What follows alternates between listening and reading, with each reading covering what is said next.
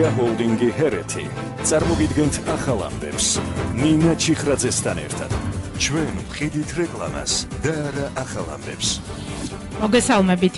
მოკლული ზუგდიდელი ქალის საქმეზე ორგანიზაცია საფარი პოლონეთს ევროსასამართლოში უჩივლებს. დეტალურად უფრო მეც გვეტყვის რადიო თბილისის კორესპონდენტი თეა შონია, რომელიც პირდაპირ ეთერში გვერდება. მოგესალმებით თეა გისმენთ.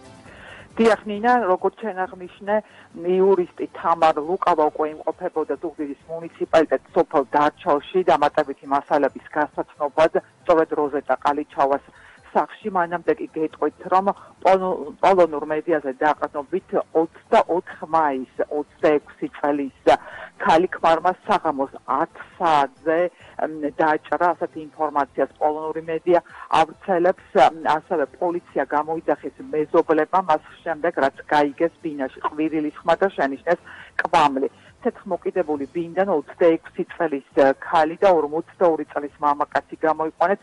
ხალხ ცივი იარაღი ჭრელობები ყელის არაში ქონდა მიყენებული. ხალი გარდაიცვალა კლინიკაში პოლონურ მედიაზე დაგნობით ხოლო მამაკაცის საკითხვა ამ დრომდე ვერ ხერხდება ვიცი ჯანმრთელობის მდგომარეობა არის მძიმე და სწორედ მეზობლებმა ნახეს 42 წლის მამაკაცის დანით ხელში.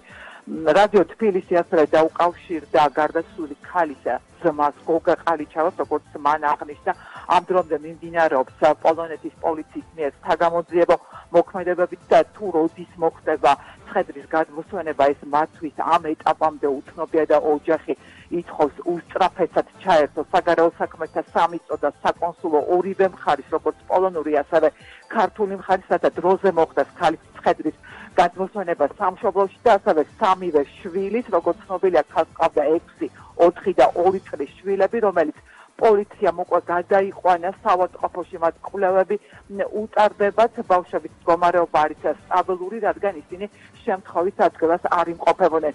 რაც შეეხება საფარის იურის თამარ ლუკავას იგი აცხადებს რომ ისინი იჩივლებენ ევროსასამართლოში რადგან ხალი სიკტილამდე მათ ეკონტაქტებოდა და რამდენჯერმე დახმარებით მიმართა ასევე თამარ ლუკავამ ეს გააგებინა ასევე პოლონეთში საკონსულოს ჩართო იურისტები თუმცა ორივე ქვეყანამ როგორც ქართულმა ასევე პოლონურმა ვერ შეძლო 26 წლის ქალის სიცოცხლის გადარჩენა და ისინი ევროსასამართლოში ჩივოს აპირებენ. საუბარია საფარზე. ნინა? მადლობა თეატ კონსმენდით რადიო თბილისის კორესპონდენტ თეაშონიას